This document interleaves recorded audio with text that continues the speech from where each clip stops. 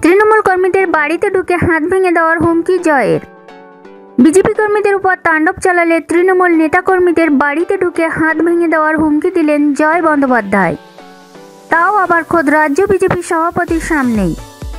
একই সঙ্গে রাজ্য সভাপতি দিলীপ ঘোষকে এসি ভোল্টেজের কারেন্ট বলে সম্বোধন করে কর্মীদের চাঙ্গা করার বার্তা দেন জয়।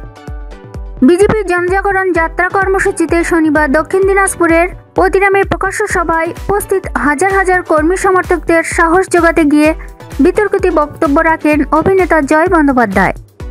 সভায় অংশগ্রহণকারী কর্মী সমর্থকের ওপর তৃণমূলের গুন্ডারা অথবা পুলিশ অত্যাচার চালালে রীতিমতো তাদের বাড়িতে ঢুকে পাল্টা হামলা চালানোর হুঁশিয়ারিও দেন তিনি।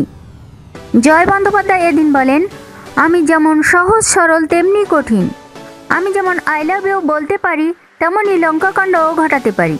অতিরামের এই সভা থেকে ফিরে যাওয়ার পথে কারও ওপর তৃণমূল অথবা পুলিশের তরফে হামলা চালালে হামলাকারীদের বাড়িতে ঢুকে তাদের হাত ভেঙে নিয়ে চলে যাবেন বলেও মন্তব্য করেন তিনি।